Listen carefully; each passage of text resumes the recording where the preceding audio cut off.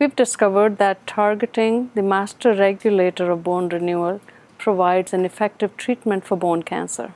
This discovery is important because there has been very little improvement in bone cancer treatment over the last 20 years, and the information we have generated can be translated rapidly to the clinic. There's already a drug being used in other bone diseases, and we hope can now be adapted for bone cancer. We were inspired by Terry Fox, who had this type of bone cancer, and we started this work about 13 years ago. We're very excited that we've set up this pathway to testing this new potential therapy for bone cancer. I'm Rama Khokha.